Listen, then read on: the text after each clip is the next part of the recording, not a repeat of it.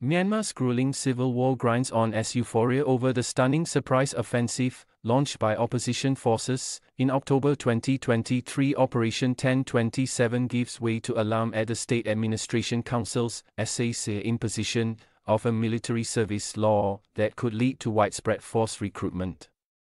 The SAC has so far managed to cling to power, even as it loses territory, bases, and soldiers in battles with multiple armed opponents in the borderlands and increasingly on the plains of Rakhine.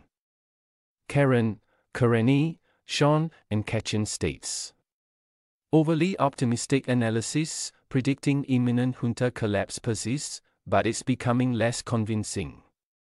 It is irrefutable that an estimated 50 towns have fallen to the Three Brotherhood alliance. Arakan Army and the Karen National Union, as well as other anti-junta forces. Yet no state capital, Myanmar Military Regional Command Center, has fallen. There have been multiple cases of Myanmar soldiers fleeing into India, Bangladesh, and Thailand to escape insurgent attacks. But even as its frontiers collapse, the SAC holds on in the center, relying on air power and on strategic depth that protects its arms production. There is relative stability in urban centers, from the commercial capital Yangon to the military industrial manufacturing belt at Pioi in Magway region to the capital Naypyidaw and the city of Mandalay. As well as the major military cantonment areas and air bases, such as Meiktila. Maintaining trade links by sea will not replace the disrupted overland routes with Thailand and China but they are crucial for jet fuel and military supplies. The defense services industries, a SAW, continue to manufacture bombs, bullets, artillery rounds, and other lethal materials. Despite the massive amount of ordnance seized by the resistance, the production zone and the transport network that sustains it, plus the system of hundreds of facilities and bases in central Myanmar, are formidable defenses that so far appear stable, allowing the military to increase its punishing bombardments in multiple locations. Myanmar conflict think tank Nyan Lin Thit Analytica recently compiled stark analysis on SAC airstrikes since the coup and their search following Operation 1027. In 2021, there were 85 documented strikes, with 339 the following year.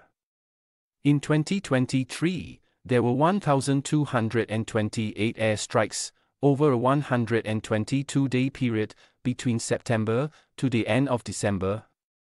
The SAC conducted 750 airstrikes, averaging 6 per day. The analysis shows that casualties also rose, with 63 civilians killed and 42 wounded in 2021, jumping to 260 and 85 respectively in 2022. And increasing over the last year to 613 dead and 751 wounded. The tempo of attacks has increased markedly, as has accuracy. In some cases, it is alleged that thermobaric weapons have been used delivering greater payloads of destructive power. The recent killing of more than 20 Rohingya Muslims in Minbya township of Rakhine and the razing of towns in Hsihseng in southern Shan state underscore the destructive capacity of the SAC's firepower, buttressed by widespread use of heavy artillery and increased use of weaponized drones. In recent days, there have been multiple airstrikes in four different states across Myanmar.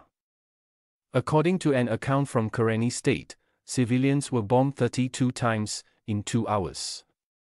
Amnesty International reported in late January that several jet fuel sales to Myanmar's military in 2023 were facilitated through storage facilities in Vietnam via Chinese and Liberian flag tankers, but whose ownership could not be determined.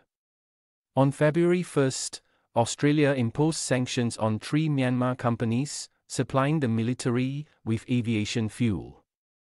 US sanctions specifically targeting Myanmar's foreign arms supplies have been imposed regularly since the coup. With specific sanctions on jet fuel supplies in March and August 2023. These measures should be coordinated and expanded in light of the surge in air strikes.